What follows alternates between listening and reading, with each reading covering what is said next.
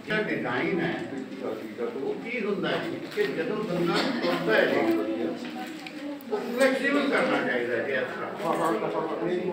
ਉਹਦੇ ਕਿ ਲਹਿਰੀਆ ਬਣਨਾ ਚਾਹੀਦਾ ਕਿਉਂ ਡਿਜ਼ਾਈਨ ਬਣਾਉਣੇ ਕਿ ਐਂ ਇਕੱਠੇ ਕਰਨ ਵਾਸਤੇ ਥੋੜਾ ਜਿਹਾ ਪਤਾ ਲੱਗੇ ਡਿਜ਼ਾਈਨ